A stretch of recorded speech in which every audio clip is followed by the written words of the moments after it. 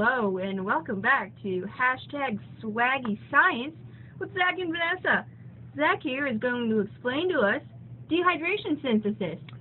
Wow, thanks, Vanessa.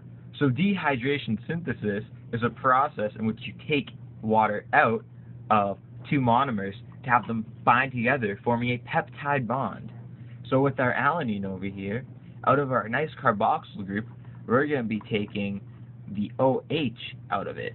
So we're going to pull that off right there. And then from the amino group of our glycine over here, we're going to be taking a hydrogen off of that.